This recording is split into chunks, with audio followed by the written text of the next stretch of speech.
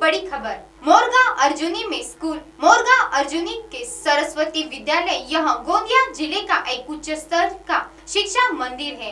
लेकिन शिक्षा का बाज़ार ही यहाँ इन दिनों हो रहा है। जैसा कि हम दर्शकों को बता दें कि पिछले कई वर्षों से मनोहर भाई पटेल एकेडमी की ओर से 9 फरवरी को दिए जाने वाले गोल्ड पुरस्कार में यहाँ के स्कूल का नाम गौरवित किया गया था। लेकिन यह स्कूल भी अब व्यवसायिक तौर पर काम करते नज़र आ रहा है।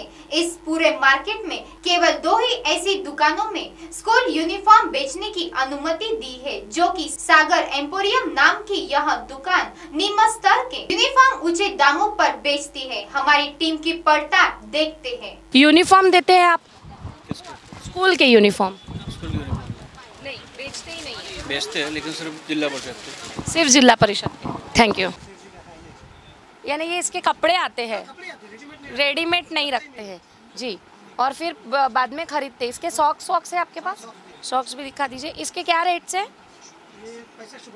पैंसठ रुपये मीटर। और ये? तो ये शर्ट और ये ट्यूनिक है। है ना? ये बहुत ज़्यादा पतला नहीं है। यानी फ्रॉक के हिसाब से और पैंट के हिसाब से आपको ऐसा नहीं लगता? हाँ तो ये फ्रॉक का भी पतला नहीं लग रहा है आपको?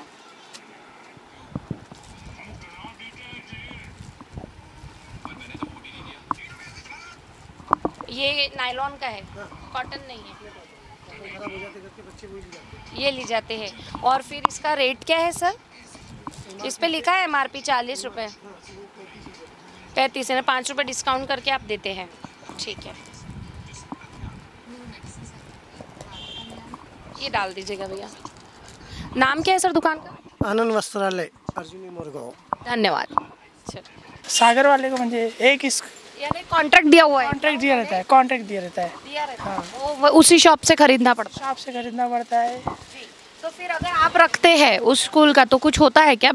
होता नहीं फिर वही एडर आता है ये बराबर मैचिंग नहीं है ये इस टाइप का बराबर नहीं है कलर नहीं बैठ रहा। मटेरियल बराबर नहीं बैठ रहा यानी सेम रहने के बाद भी स्कूल से कंप्लेंट आना। आप मालिक है दुकान के? यहाँ पे यूनिफॉर्म रखते हैं? नहीं जी। यानी रखते ही नहीं है? रखते ही नहीं है। नहीं। धन्यवाद। सारे सारे लोगों को बुलाया था उन्होंने।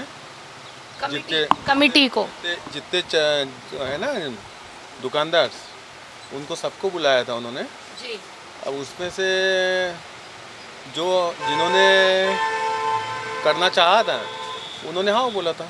तो यहाँ पे अपने जो मार्केट प्लेस है अपना कपड़े बाज़ार का ये यहाँ पर कितने लोगों के पास हो गए उनके यूनिफॉर्म दो जन के पास है। कौन कौन है सर? एक जानवी रेडीमेड है। हाँ।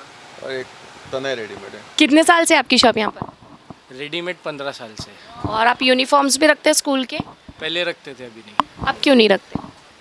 अभी मतलब एक ही जगह दो ही जगह रहता है। टीचर लोग भी थोड़ा कुछ आनाकानी करते हैं यहाँ से नहीं वहाँ से लो इसलिए नहीं रखते। इसीलिए नहीं रखते।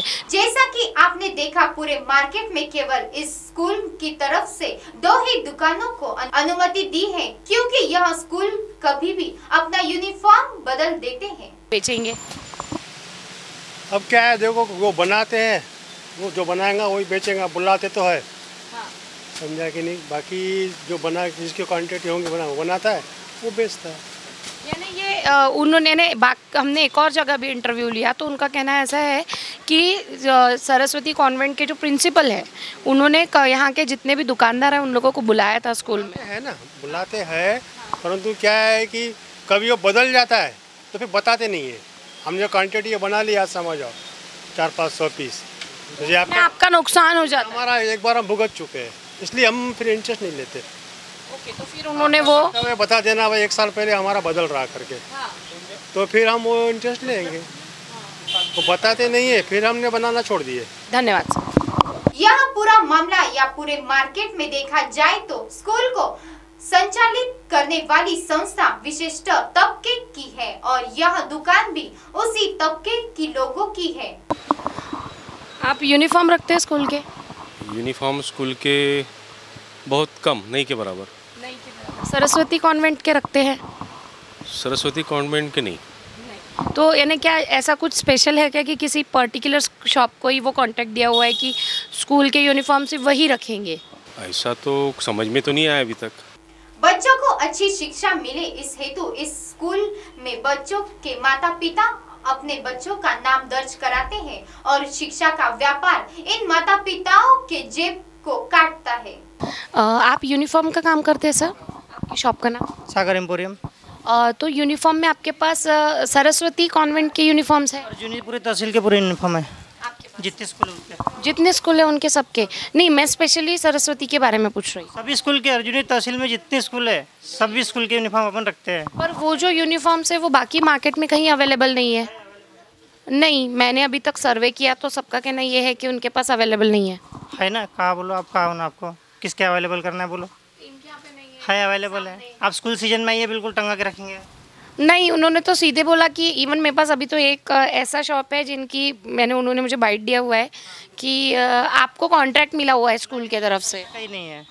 ये आपका गलत सोच है।